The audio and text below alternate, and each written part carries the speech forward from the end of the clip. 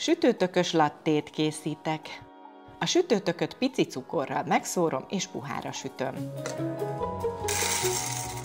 Főzök egy erős eszpresszót, majd ezt is a sütőtök püréhez adom.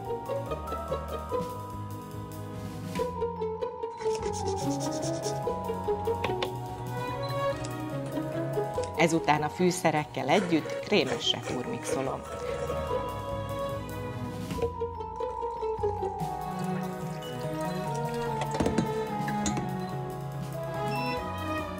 A tejet felhabosítom, és a sütőtökös kávéhoz öntöm.